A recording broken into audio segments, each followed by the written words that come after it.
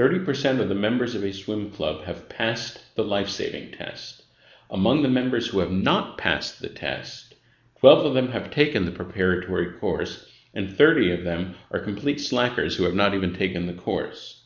How many members are there in the swim club? Well, if 30% have passed the life saving test, that means that 70% have not passed it.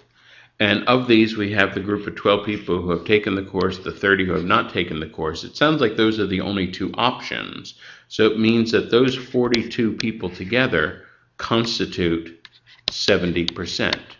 Well, if 42 is 70%, I notice 42 is divisible by 7, so I'll just divide both sides by 7. That means that 6 would be about 10%. And if 6 is 10%, it means that there are 60 people in the entire course. And this is answer choice A.